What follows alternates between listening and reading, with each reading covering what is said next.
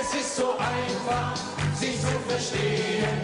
Gebt auch mal nach und ihr werdet sehen, dass nur ein kleines Liebeswort zur rechten Zeit